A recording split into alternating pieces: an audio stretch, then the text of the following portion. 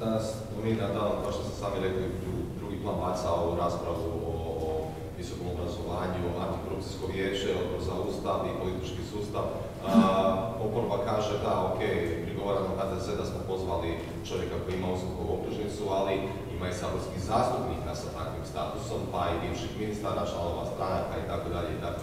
A osim toga zvali smo mi i premijera, i njegovu bivšu suradnicu, i bivšeg ministra da nam daju cijelu sliku. Je li možda bilo bolje za demokraciju i za javnost da su se naprosto svi odazvali i rekli što je za reći?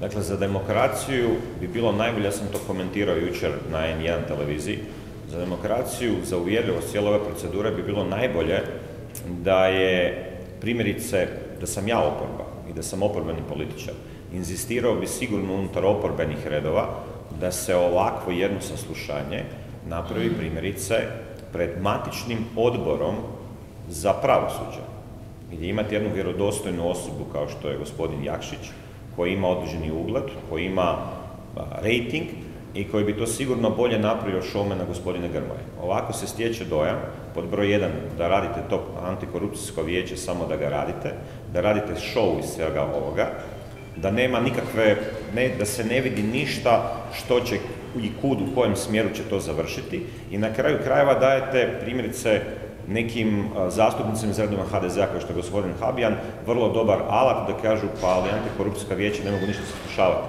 To mogu matični odbor.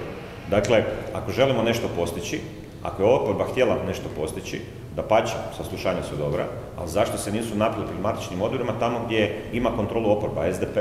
Dakle, konkretno gospodin Jakšić. Znate, kad stavimo gospodina Jakšića, gospodinu Grma, ja ću se uvijek odrediti za gospodina Jakšića.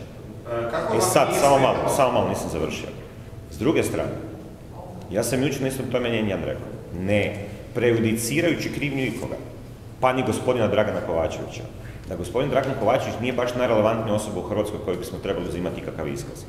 Znate, osobe koje bacaju pod kasnim noćnim satima mobitele u Savu, ne uljeva mi povjerenje da bi takve osobe trebale svjedočiti o ičemu, pogotovo u Hrvatskom saboru. Ali, ja sam jučer popodne dobio poluprijeteću poruku od istog tog gospodina Dragana Kovačevića da će me tužiti za sve ono što je izneseno, a sve ono što sam čitao u medijima kao što ste i vi, što je preneseno i što je naravno usko ustvrdio. Da ne govorimo o upravo ovim bacanjima mobitela u podokrinim noći, da ne govorimo o gotovini, da ne govorimo o nesrazmjeru imovine. Dakle, ja smatram da je to nedopustivo. To je njegovo pravo da kazneni progon pokrene protiv mene, to je njegovo pravo.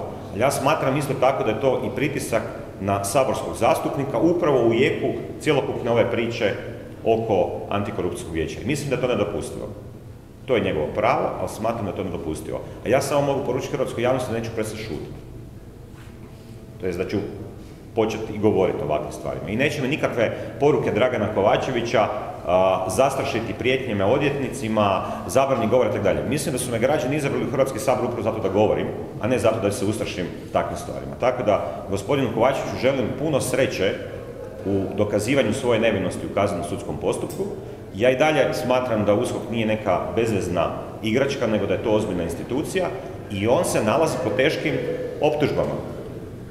Dakle, smatram da kao takav, želim mu svako dobro, sve najbolje, ali smatram kao takav po teškim optužbama ne može biti relevantan da svjedoči o ičemu i da iskazuje o ičemu u Hrvatskom saboru.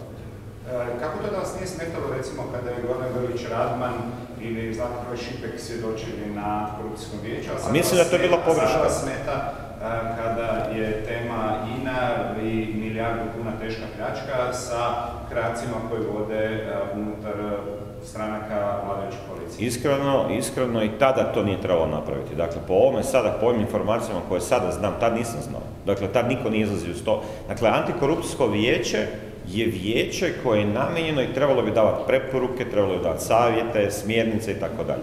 Matični odbori su ti koji bi to trebali raditi. I da, tu je napravljena isto tako pogreška, evo, priznajem. Ali mislim, znate, ne mogu ja osobno, ne pratim sve kao ni što ni vi ne pratite. Pa nije na kraju krajeva niti medije tad smetalo. Budimo realni, jel tako?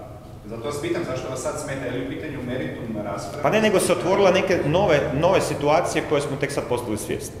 Dakle, kažem, ako ćemo politički gledati, složit ćete se sigurno, puno ispravnije bi bilo da to ide preko odbora za pravosuđe i gospodina Jakšića. Ali gospodin Grva voli raditi show, što je njegovo isto tako pravo.